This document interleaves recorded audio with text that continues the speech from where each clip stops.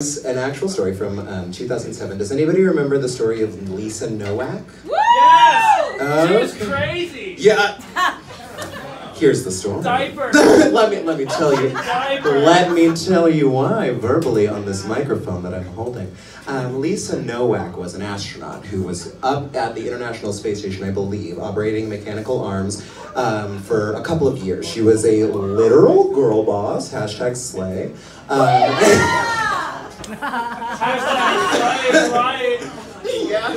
Um, and up there, she met Bill Oafman, who she eventually established a relationship that she described as less than lovers, more than friends. Um, they returned to Earth, and he ghosted her. This term did not exist in 2007, but he did. Bill Oafman did not reach out to her, and she eventually heard word of a new relationship that he had started with a woman in the Air Force. Uh, upon hearing this news, Lisa Nowak got a wild hair up her ass and decided to drive in one fell swoop from Houston, Texas to the eastern coast of Florida. The interesting part about this story is that when they looked through her car, they not only found kidnapping supplies, which you would expect from a spurned woman. Yeah, yeah. we've all we all have folding knives and wigs in the back of our car. That's true, actually. Um, but they also found a well-opened, well-used package of Depends adult underwear. Um, she, in court, to this day, swears to God that they were not used to get her through that drive, but how else would she have made it in one fail swoop? So this song is written from the world in which she used those Depends for what exactly we thought she did.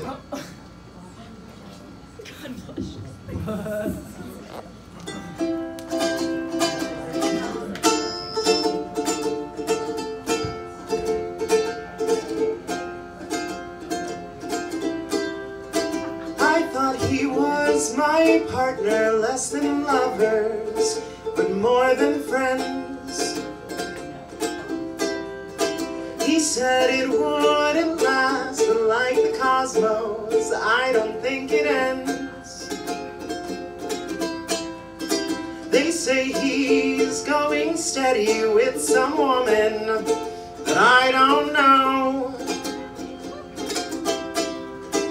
I've never met this person, but I think that I should go and say hello.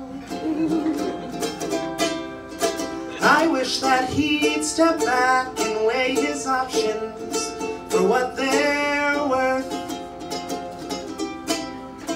She may be smart and pretty, oh, but our love has orbited the earth. I I'm in a new kind of space race, so I don't tell my parents. And I don't tell my friends, I just grab some rubber tubing and I pull on my depends and then I drive. It's time for a road trip. Cheer!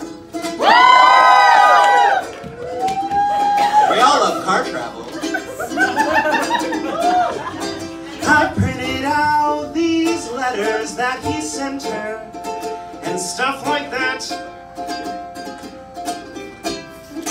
I've written these directions to her house so we might have a little chat.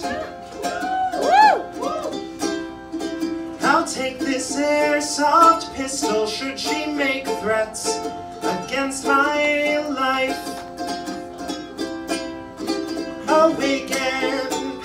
spray and this eight-inch Gerber folding knife. I will not let my man pursue her. Now she will get what's coming to her. But I don't tell my parents, and I don't tell my friends. I just grab some rubber tubing, and I pull on my depends, and then I drive. It's time for a road trip.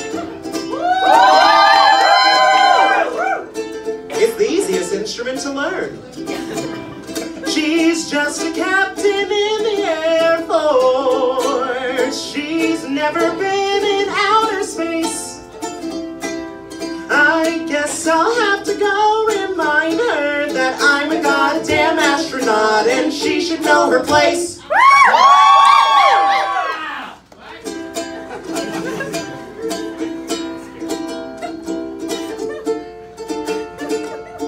She had an IQ that exceeded 150. She was the best in her field written off as a crazy person because she was gaslit by a man. I pass through the state border and I'm welcomed by a sign. I can feel my heart pounding in my temples, and justice will be mine.